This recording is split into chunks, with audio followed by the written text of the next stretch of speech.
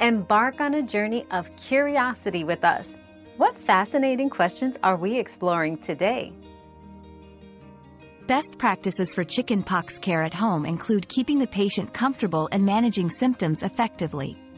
Ensure the individual gets ample rest and stays hydrated by drinking plenty of fluids.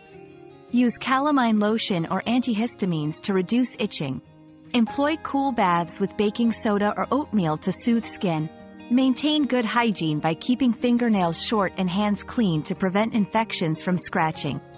Monitor the patient's temperature and consult a healthcare provider if any complications arise or if symptoms worsen.